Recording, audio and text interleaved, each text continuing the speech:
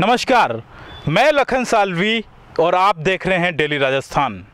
समय के साथ रीति रिवाज बदलते जा रहे हैं। लोग आधुनिक संसाधनों का एक्सट्रीम यूज़ करने से उबर कर वापस पुराने तौर तरीकों पर लौट रहे हैं। अब पुराने तौर तरीके वापस पसंद आने लगे हैं। शादियाँ तो आपने खूब देखी होगी। आजकल कई दूल्हे हेलीकॉप्टर से ससुराल पहुँचते हैं। बाराती के तौर पर भले ही एक दो दोस्त ही साथ हो, लेकिन वे इसे अपनी शान समझते हैं। वहीं कई लोग हाथी पर तो कई लोग बड़ी बड़ी गाड़ियों में बारातें ले जाते हैं, जिसकी जैसी दशा, उसकी वैसी मनसा दिखाई पड़ती है। लेकिन कई लोग ऐसे भी हैं, जिन्हें हेलीकॉप्टर, हाथी और बड़ी बड़ी गाड़ियाँ रास नहीं आती। कुछ दिनों पहले ऊँट पर बारात जाते हुए दिखाई दी थी। अब बैलगाड़ियों में बारातें नज़र आने लगी है।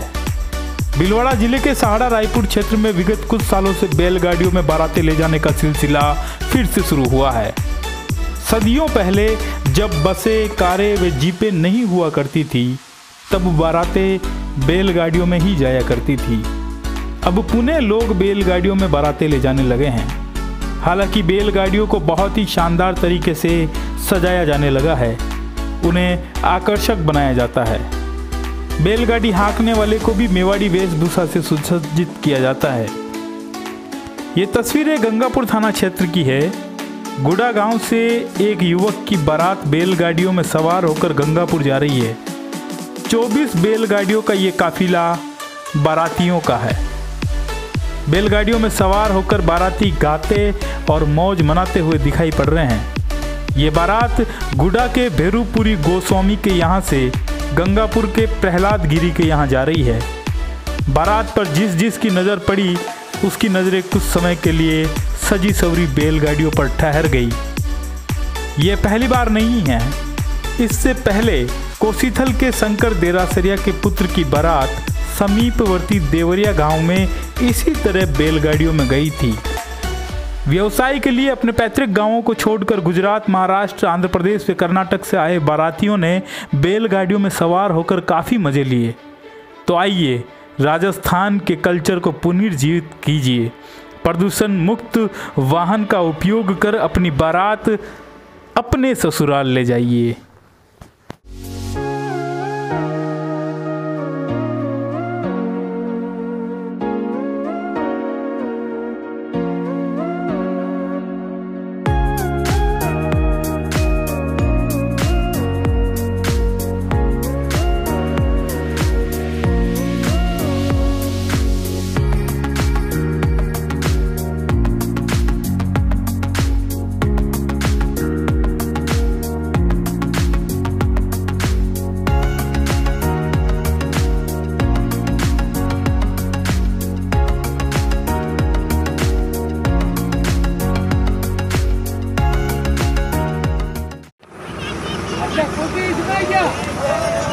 ये बारात जा रही है गुडा से। गंगापुर। 24 घंटे की बारात जा रही है।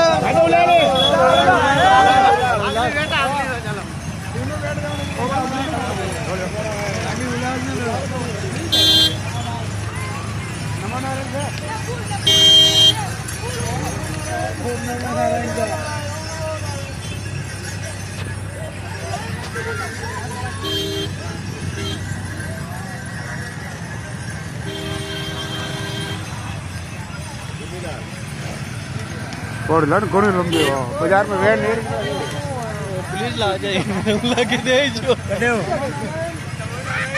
ओम नमो